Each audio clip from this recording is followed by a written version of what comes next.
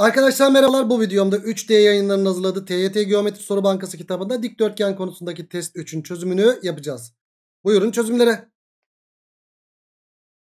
Yukarıda verilere göre x kaç derecedir diye soruluyor. Arkadaşlar köşegenler çizilmiş. Köşegenler birbirine eşitti ve kesim noktasından köşeler olan uzaklar da birbirine eşit değil miydi? Evet eşitleri koyunca bakın burada da bir x kenar çıktı. Öncelikle 36'yı kullanalım. Z'den dolayı burası da 36 değil midir? Aynen öyle. 36 44 daha yan yana geldi. 80 yaptı. Hocam bu açı 80 ise 180'den 80 çıkartıyorum. İkizkenarın tepe açısı olduğu için. 180'den 80 çıkartıyorum. 100. 2'ye böl. 50 50 yaptı burası. E hocam ne oldu burada? Şurada da bir ikizkenarlık var. 36 ise burası da 36. 36 36 72. Burası da 108 yapmalı. Yani x artı 50 eşittir 108 ise x de buradan kaç gelir? 58 gelir. Yani cevabımız Ceyhan oldu. ABC'de bir dikdörtgen BC ile BD ile C birbirine eşit verilmiş. Arkadaşlar köşegenle alakası yerde bir eşitlik verilmiş. Ne yapıyorduk? Diğer köşegeni de biz çiziyoruz. Niye? Köşegenler birbirine eşit kardeşim. Bakın önceden şu parçayla şu parça eşit verilmişti. Şimdi köşegenlerin eşitliğinden dolayı şuraya koyunca aa ikizkenar çıktı. Ve ben bu arada şu köşegenlerde küçük parçaların da eşit olduğunu biliyorum. Hocam 36 ise burası da 36. E, o zaman buraya kaç kaldı? 90 olduğundan 54 kaldı. Hocam 36 ise Z'den dolayı burası da 36. Bakın bunun taban açısı çıktı. Kaç çıktı buradaki taban açısı? 46. Burası 46 ise burası da 46'tır. E o zaman 46 46 54 artı x. 46 artı 46 artı 54 artı x 54 artı x eşittir kaç yapmalı? 180. E buradan ne geliyor gençler? 46 54 daha 100 yaptı. 146 34 mi geliyor? Evet x'i buradan 34 derece olarak buluruz. Cevap Edremit oldu. Aşağıda kısa kenarı 45 cm uzun kenar 60 cm olan dikdörtgen biçimindeki bir pencerenin 5 cm kalınlığındaki pervazları çakılmıştır. Tüm şekiller dikdörtgen olduğuna göre pervazların yüzey alanı nedir diye soruluyor. Öncelikle şurayı bulalım arkadaşlar. Şurası kaç?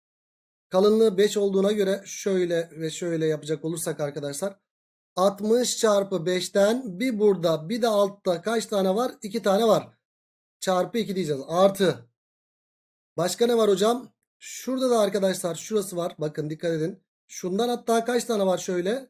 1, 2, 3 tane var. Ama hocam kalınlığı 5'ti ya. 5 buradan gitti 5 buradan gitti. Tamamı 45'ti. Buraya kaç kaldı? 35 kaldı.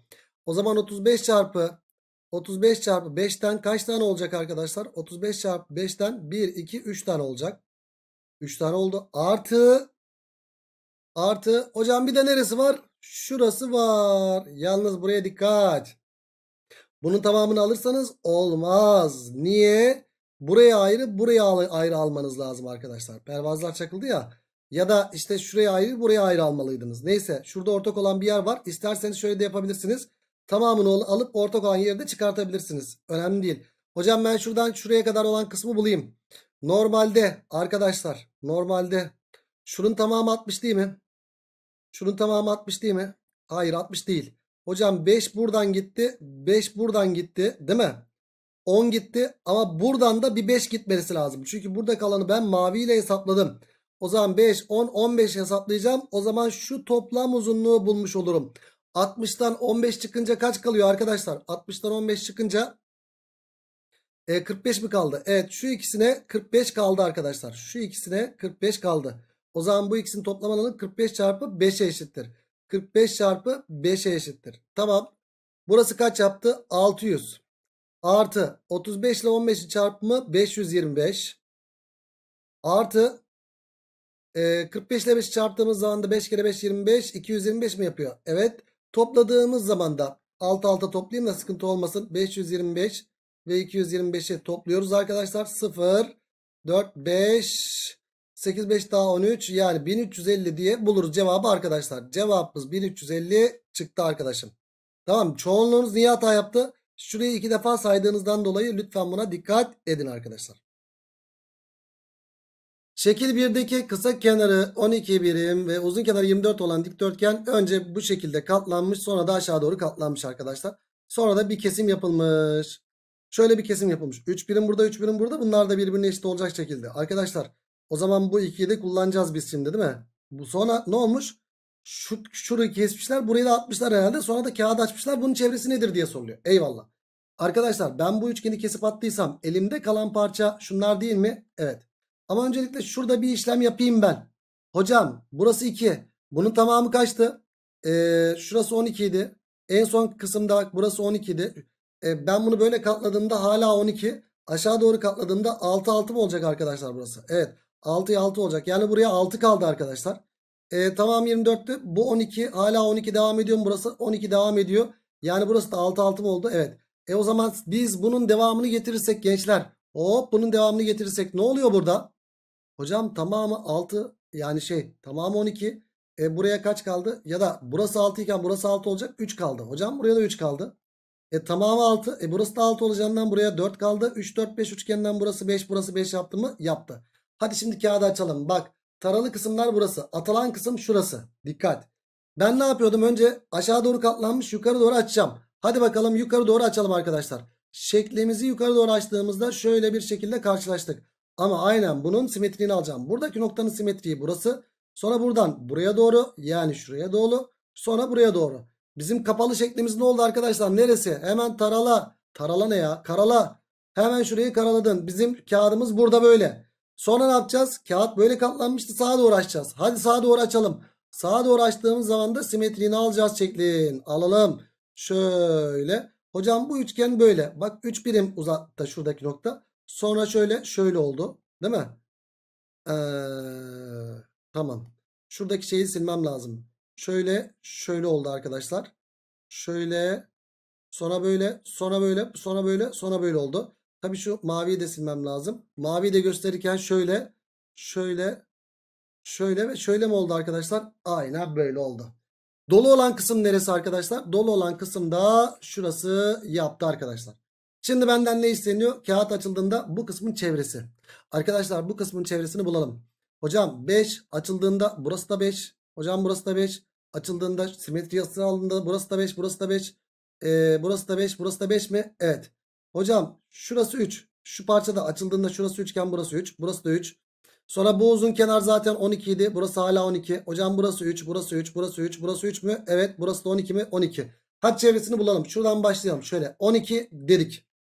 Hocam 12 12 ya da 12 3 13 şöyle 12 3 daha 15. Sonra 5 daha 20 25 28 31 36 e, 41 44 mi yaptı arkadaşlar burası? 41 44. Evet.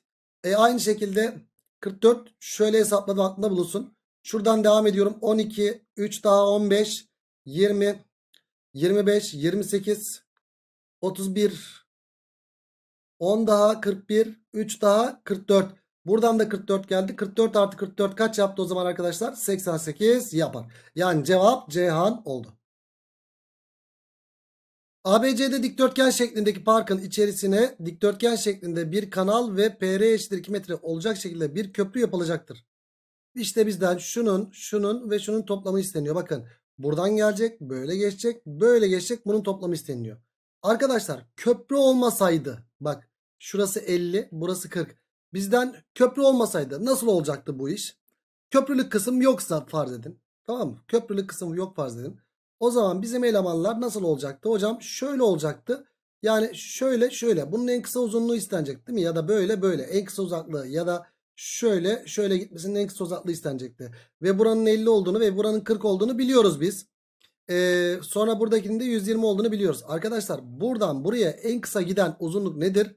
Hop dümdüz çizgi değil midir? Yani Pisagor bağıntısı yaparız. E hocam burası 50 idi. Burası 90, 120. 9, 12, 15'ten burası 150 mi yapacak? Evet. Eğer köprü olmasaydı şununla şunun toplamı e, tabi şu kısımda olmasaydı arkadaşlar. Şununla şunun toplamı şu şekilde 150 olacaktı. Ama bir de 2 metrede köprüden geçiyor böyle arkadaşlar ekstradan. E 150'ye de 2 eklersek cevap ne çıkıyor o zaman arkadaşlar?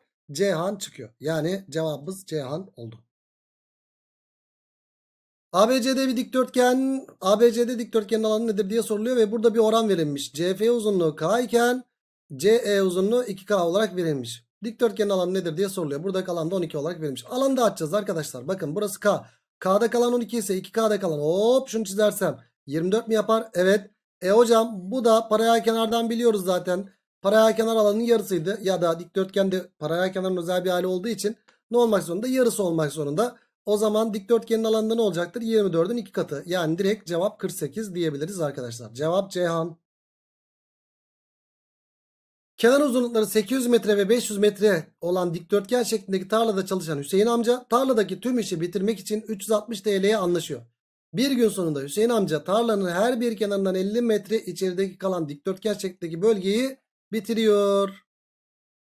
Hüseyin amca bir günlük bu çalışma sonucunda ne kadar ücret almalıdır? Arkadaşlar şimdi bu kadarlık kısmı şey yapıyor. Burası kaç? 500 değil mi? Şurası kaç? 800 değil mi? Arkadaşlar 50 buradan 50 buradan içeri girince buradaki dikdörtgenin kenarı 100 kadar içeri girdik 700. Buradaki dikdörtgenin kenarı kaç arkadaşlar? 50 buradan 50 buradan 100 400 yaptı. Bizim eleman şu kadarlık alanı çalışmış ama tamamı için ne kadar arkadaşlar? Tamamı için 360 lira anlaşmıştı. E arkadaşlar o zaman tamamı için 800 çarpı 500 değil midir? Evet 800 çarpı 500 de 360 liraya anlaştıysa bizim eleman 400 çarpı 700'lük yer yaptı. 400 çarpı 700'lük de kaç lira alır diye söyleriz arkadaşlar. İşler dışlar yaptığımız zaman ya da direkt x neye eşit olacaktır arkadaşlar? Direkt 400 çarpı 700 çarpı 360 bölü 800 çarpı 500'e mi eşit olacak arkadaşlar? Evet öyle olacak. 1, 2, 3, 4 tane sıfırı götürelim. 1, 2, 3, 4 tane sıfırı götürdük arkadaşlar. Ee, 40 ile 8 kere 5 40 bunda sadeleşti. O zaman 7 ile 36'ın çarpımı yaptı. X eşittir 6 kere de 42 3 kere de 21 252 mi yapıyor arkadaşlar? O zaman cevabımız 252 olmuş oldu. Yani cevap Ceyhan. ABC'de bir dikdörtgen KLMN iç açı ortayların kesmeye, kesmesiyle meydana gelen dörtgendir. Evet burası. Hatta bu dörtgen bir dikdörtgen yapıyor arkadaşlar. Niye? Hocam bu açı ortay 45-45 ya. Burası da 45-45 ya. Aynı şekilde burası da 45-45. Aynı şekilde burası da 45-45. 45-45 90 üçgeni. 45-45 90 üçgeni. 45-45 90 üçgeni.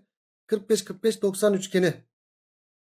Bakın gerçekten de ne oldu arkadaşlar? Dikdörtgen oldu. E hocam burası 4 kök 2 ise bunlar 4 4 oldu. E hatta burası da 4 kök 2 ise bu da 4 4 oldu. E hocam burası 6 kök 2. Şuradaki dik üçgende o zaman burasının 6 6 olması lazım. Hocam buraya 2 2 kaldı. Hocam burası da 6 kök 2 olduğuna göre 6 6 olacak burası. Burası da 2 2 oldu. Yani içerideki şekil bir dikdörtgen değil hatta bir kareymiş. KLMN dörtgenin çevresi soruluyor. Arkadaşlar 2'den kaç tane var orada? 4 tane var. O zaman bizim çevremizde kaç yaptı? 8 yaptı. Yani cevap Edremit oldu. Aşağıdaki dikdörtgen 9 küçük dikdörtgene bölünmüş ve bunlardan 5'inin çevre uzunluğu santimetre cinsinden işlerine yazılmıştır. Ee, buna göre bölünen büyük dikdörtgenin çevresi nedir diye soruluyor. Arkadaşlar x, y, z diyelim mecbur. a, b, c diyelim mecbur. Bizden ne isteniyor? Bizden istenilen 2x artı 2y artı 2z artı 2a artı 2b artı 2c nedir diye soruluyor arkadaşlar bizden. Çünkü x artı y artı z artı artı b artı c artı x artı y artı z artı artı b artı c ne yaptı? İki tane x, y, z, a, b, c toplamına eşit oldu arkadaşlar. Peki ne yapacağız? Ayrı ayrı hepsini yazmaktansa benim dikkatimi şu çekti açıkçası. Hocam şurada yatay var. Bu yatayı ayrı toplayayım. Hocam burada da dikey var. Dikeyi de ayrı toplayayım bence. Evet bu yatayların çevresine bakacak olursak. Arkadaşlar x, x. Bakın şurası ne? B. Dikkat edin. Şurası da B. Burası da B. Burası da B değil mi? Şimdi bunun çevresini toplarken 2 tane x gelecek. Bunun çevresini toplarken 2 tane y gelecek. Bunun çevresini toplarken 2 tane z mi gelecek? O zaman bütün hepsini toplayayım ben. Arkadaşlar 2x artı 2y artı 2z 2z artı bunun çevresini topladığımda 2 tane B. Bunun çevresini topladığımda 2 tane B. Bunun çevresini topladığımda 2 tane B geldi. Yani 2, 4, 6B geldi. 6B toplamı neye eşit olacak? Bunların hepsinin çevreleri toplamı 7, 5 ve 11'in toplamına eşit olacak. Toplayalım bakalım. Ee, 10, 7, 5 daha 12. Ee, 12 ile de 11'i toplarsak kaç yapıyor arkadaşlar? 23 yaptı. Burası 23 yaptı. Peki sonrasında arkadaşlar şuraya bakalım. Şu dikeye bakalım. Bu dikeyi toplarken hocam Şunun çevresinde 2z gelecek. Bunun çevresinde 2z gelecek. Bunun çevresinde 2z gelecek. Toplam 6z olacak. Eyvallah. Alttakinin çevresinde 2 tane a mı gelecek dikeylerden? Evet. Şuradan 2 tane b gelecek. Buradan da 2 tane c mi gelecek? Evet yazalım onu. 2A artı 2B artı 2C artı Z'den de alt tane geldi. Alt tane Z neye eşittir arkadaşlar? Neye eşittir arkadaşlar? Şu toplama eşit olacak. 19, 11 daha 30, 18 daha 48. 48'e eşit olacak. Bak benden X, Y, Z, A, B, C'nin toplamı isteniyor. X, Y, Z, A, B, C. Ama burada 6B taraf tarafa toplarsam burada güzel bir şey geliyor. Direkt o çevre mi geliyor arkadaşlar? Şuna çevre diyecek olursak. Şuna Ç diyecek olursak. Direktman topladığın zaman hocam 2X, 2Y, 2Z, 2A, 2B, 2C toplamı direkt çevre yaptı. Çevre. çevre artı 6B artı 6Z geldi. Hocam 6B artı 6Z'yi ben nereden bulurum? B ve Z nerede? B burada. Z nerede? Burada. Bak. Şurada değil mi arkadaşlar? Evet. B artı Z'yi de burada yazayım. E, hatta burada B artı 2B artı 2Z'nin ne olduğunu biliyorum arkadaşlar ben. 2B artı 2Z'nin 22 olduğunu biliyorum. 11 olduğunu biliyorum arkadaşlar. 11 olduğunu biliyorum. Bana 6B artı 6Z lazım. 6B artı 6Z de 33'e eşit değil mi? Evet. O zaman bunun yerine 33 yazacağım. Evet. Burada da taraf tarafa toplamıştım. Şu ikisinin toplamı yapacak. Toplayayım bakayım. 8 3 daha 11 71 mi yapacak burası? Evet 71'e eşit oldu. Bakın tekrarlıyorum. Şuradaki toplam 2x 2y 2z 2a 2b 2c neye eşit oldu? Çevre artı 6b artı 6z neye eşit olacak? 71'e eşit olacak. E burada b artı z lazımdı bana. b ve z şurada 11'i içeriyordu. 2b artı 2z'nin 11 olduğunu biliyorum. O zaman buradan ne geldi? 6, bunu 3 ile çarpınca 6b artı 6z 33 geldi. 33'ü de buraya yazdım. O zaman bizim çevremiz ne yapacak? 71'den 33'ü çıkartacağız. 71'den 33 çıkınca ne geliyor arkadaşlar? 38 mi kalıyor? Evet cevabımız böylelikle Balıkesir yaptı. Güzel bir soru. Ya bu bilinmeyenlerin içinden çıkmak sanki sizin için zor oldu. O yüzden buraya geldiniz. E, hoş geldiniz. Böyle zor sorularda hoş geldiniz diyoruz. Nasılsınız? İyi misiniz? Biraz hal, hal hatır sorayım. Ama e, benim de dikkatli olmam burada soru çözümünde biraz e, kısa çözümü ya da böyle e, iki bilinmeyen denklemlerde tabii ki siz de yapabilirsiniz de bilmiyorum ben bunu ya tercih ettim. Burada yataya baktım. Burada da dikeye baktım. E, buradan sanki daha net bir şekilde çıktı. Kafa karışıklığına sebep olmadı arkadaşlar. Diğer türlü bütün toplamları yazdığınız zaman burada bir sürü bilinmeyen olurdu. O bilinmeyenlerin içinden çıkmak biraz zor olabilirdi arkadaşlar. Evet cevabımız Balıkesir oldu. Yukarıdaki bilgilere göre DF nedir diye soruluyor arkadaşlar bize. Arkadaşlar şurası eşit verilmiş. E burası da eşit. Tamam yazdık. Burası tam köşegenlerin kesim noktası. Hocam köşegenlerin kesim noktası şunların da eşit olduğunu biliyoruz. 18'de kullanacağız. Ne yapabiliriz hocam? Vallahi arkadaşlar direktman şunu da uzatabilirsiniz de. Ama uzattığınız zaman da niye uzatıyoruz ki? Biz genelde ne biliyoruz arkadaşlar? Vallahi eşitlik de var burada. Böyle bir e, eşitliği kullanmak için bir hamle yapacağımızı biliyoruz. Ne yapabiliriz mesela burada? E, hocam burada da bir x kenarlık var. X kenarda bir yükseklik çizsek. Tabanda eşitlikli ya ondan dolayı. A A diye iki parçaya bölse. A hocam burada orta taban çıkmış oldu. 18 ise burası direkt ne oldu? 9 oldu. E hocam burası çift çizgi ya. 2A iken. Bak burası da 2A. A x'i bulabilir mi artık? 2A bölü tamamı. 2A bölü 3A neye eşittir? X bölü 9'a eşittir. E buradan 3x eşittir 18'den x'i de buradan kaç buluruz arkadaşlar? 6 olarak buluruz. Yani cevap denizli oldu. ABCD dikdörtgen CE açıortay AF uzunluğu K iken Ali Bey uzunluğu 4K verilmiş. Ali Bey 4K ise buraya ne kaldı? 3K kaldı. Ha oran var. Hocam bir kere ben şu açıortayla da kullanacağım. Karşılıklı kenarları açıort e, karşılıklı kenarları paralel olan dörtgenlerde açıortaylık varsa Z'ye dikkat. Bak açıortaylık varken ben kollara çizilen dikmeleri kullansam mı acaba? Nereye geldiğini bilmiyorum. E, ben bunu yer kullanmayı unutuyorum o zaman. Nereye geldiğini bilmiyorum çünkü. Buraya çizsem de burada oranı bilmiyorum. O zaman ne yapıyorum? Açıortaylığı düşünüyorum. Açıortaylık varsa Z'ye dikkat. Hocam sadece yataylardaki Z'ye bakmayın demiştik. Dikeylerde de oluşuyor demiştik değil mi? Bak yatayda yok zaten böyle bir şey. Ama dikeyde şununla şu paralel ya. Şöyle Z'den dolayı burası da çizgi açısı yaptı mı yaptı. Ne içime yarayacak hocam? Bilmem. Bakacağız. Büyük ihtimal işimize yarar. E hocam burada bir oran var. Oran olduğunda ne yapıyorduk arkadaşlar? Benzerlik. Bu benzerlik. İçe çiziyordum. İçe çizdiğimde kelebek çıkmazsa ne yapıyorduk? Dışarı doğru. Dışarı doğru uzatalım. Dışarı uzattığımızda kelebek benzerliği çıktı arkadaşlar. Şurada. Şuradaki kelebek benzerliğindeki oran kaça kaç? 1'e 3. Yani ben buraya A dersem burası nedir arkadaşlar? 3A. E şimdi ne yapacağız? Geometri arkadaşlar hep size söylüyoruz. Bu arada 13 ise burası da kaç yapar? 39. 1'e 3 orandan dolayı. Geometride hep size söylüyoruz arkadaşlar. Ne söylüyoruz? Verilen bilgiyi kullan. Bulduğun bilgiyi de kullan. Sen ne buldun? Hocam bunun çizgi açısı olduğunu. Bak çizgiye çizgi. Aa ne çıktı? İkiz kenar. Ondan sonra vay efendim ben soruyu göremiyorum şunu yapamıyorum. Hayır verilen bilgiyi kullan. Yani kralını görürsün. E o zaman burada ne oldu arkadaşlar? Bunlar birbirine eşit olacak. Yani ikiz kenar çıktı. 13 artı 39 eşittir. 19 artı 3A oldu. 19'u 19'u buraya attık. 20 20 13 daha 33 33 eşittir 3A ise A'yı buradan kaç buluruz? 11 buluruz. E A 11 ise hocam bu da 19 olduğundan dolayı 19 ya burası. Buraya kaç kaldı o zaman? 8 kaldı. Yani cevabımız Balıkesir yaptı